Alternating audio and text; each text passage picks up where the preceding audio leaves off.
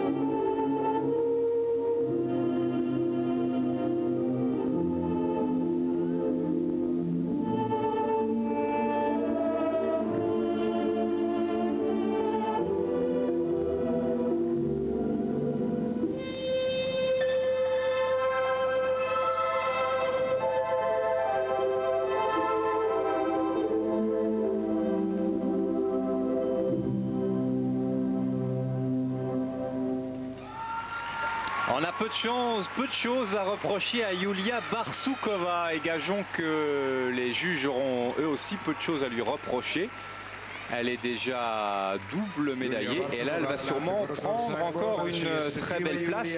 Des qualités physiques euh, évidentes et aussi cette euh, capacité de bien jouer avec l'engin, de bien jouer aussi avec le public.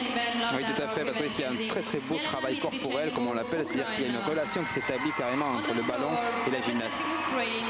9 950, inutile de vous dire qu'elle prend très nettement les devants et que Yulia Barsukova est en route peut-être pour une troisième médaille, probablement même, mais, mais attendons, parce qu'il y a le passage de la non moins ravissante Elena Vitrichenko, l'Ukrainienne.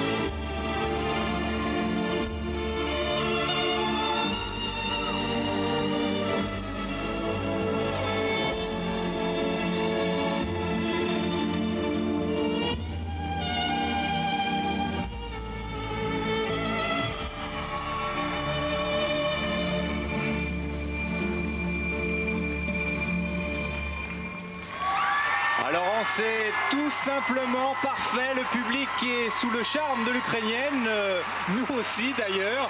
On est complètement tombé pour Elena Vitrichenko qui vient de réaliser une prestation absolument hallucinante. Oui, tout à fait. Elle, marie parfaitement, je dirais, la technique, l'expression corporelle, la relation avec le ballon. Tout tombe à point. tout y est. Yelena Vitrichenko championne du monde 1997 encouragée ici euh, par euh, de nombreux supporters et supportrices. Elle attend avec une pointe d'anxiété le verdict des juges. Allez, encore quelques secondes de patience euh, pour euh, Elena. Et la note, euh, la note, elle est parfaite comme sa prestation.